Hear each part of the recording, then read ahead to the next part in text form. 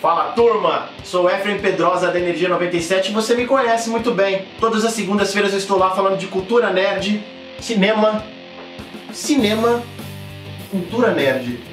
E eu vou estrear um canal no YouTube em fevereiro para vocês chamado Raio Ômega. Pra gente expandir um pouco mais sobre isso, a gente vai falar bastante sobre, deixa eu ver, colecionismo. Sabe o que é colecionismo? Nem eu. Não, brincadeira, eu sei.